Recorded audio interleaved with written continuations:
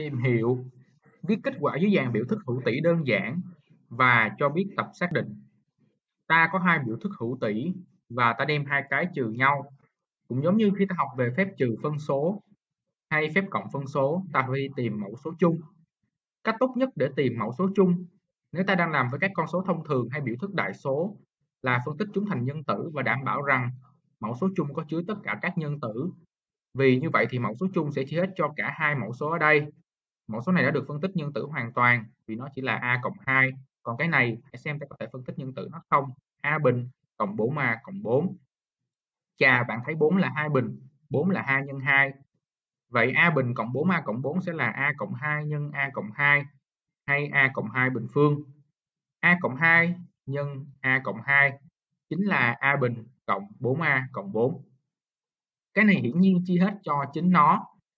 Mọi số đều chia hết cho chính nó, trừ số 0. Cái này cũng chia hết cho a cộng 2. Vậy đây là bộ chung nhỏ nhất của biểu thức này và biểu thức này nên nó sẽ là mẫu số chung. Hãy làm như vậy.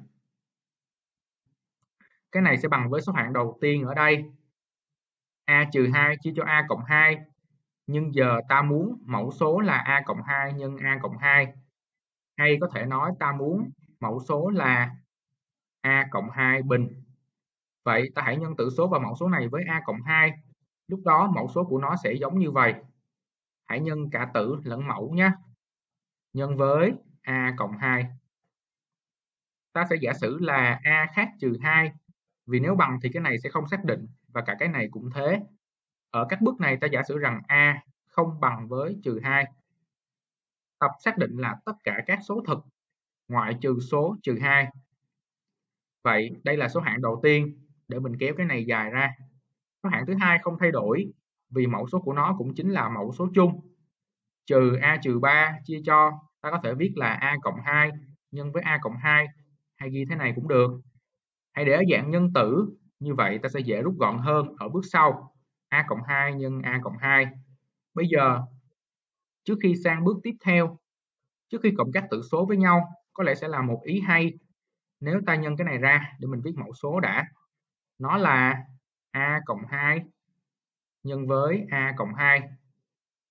Giờ tử số này nếu ta có A trừ 2 nhân A cộng 2, ta đã từng gặp dạng này, ta có thể nhân phân phối ra, nhưng có lẽ bạn đã nhận ra rằng cái này sẽ bằng a bình phương trừ đi 2 bình phương. Vậy cái này bằng a bình phương trừ đi 4. Bạn có thể nhân phân phối các số hạng ở giữa bị triệt tiêu, trừ 2 nhân a và a nhân 2 khử nhau. Và bạn có còn lại a bình phương trừ đi 4 chính là kết quả này. Ta xét tiếp cái này. Bạn có trừ a trừ 3. Hãy cẩn thận nhé. Bạn đang trừ đi a trừ 3. Nên bạn muốn phân phối dấu trừ này hay là nhân cả hai số hạng với trừ 1 Vậy bạn có thể ghi là trừ A ở đây và rồi trừ trừ 3 là cộng 3. Vậy nó rút gọn thành gì? Bạn có A bình phương trừ đi A. Xem nào, trừ 4 cộng 3 là gì? Trừ 4 cộng 3 là trừ 1. Tất cả đem chia cho A cộng 2 nhân với A cộng 2 ta có thể viết là a cộng 2 bình phương. Giờ ta muốn phân tích tử số này thành nhân tử để chắc rằng nó không còn có nhân tử chung nào với mẫu số. Mẫu số là a cộng 2 bình phương. Suy xét một chút bạn có thể thấy a cộng 2 không phải là nhân tử của biểu thức trên này vì nếu thế số này phải chia cho 2 nhưng nó không chia hết. Vậy a cộng 2 không phải là nhân tử của cái này Vậy ta không rút gọn thêm được nữa. Kể cả khi ta có thể phân tích tử số này thành nhân tử. Ta làm xong rồi, ta đã rút gọn biểu thức hữu tỷ và tập xác định ở đây là tất cả các giá trị A ngoại trừ trừ 2. A không thể bằng trừ 2. Tất cả giá trị A ngoại trừ trừ 2 và ta đã làm xong.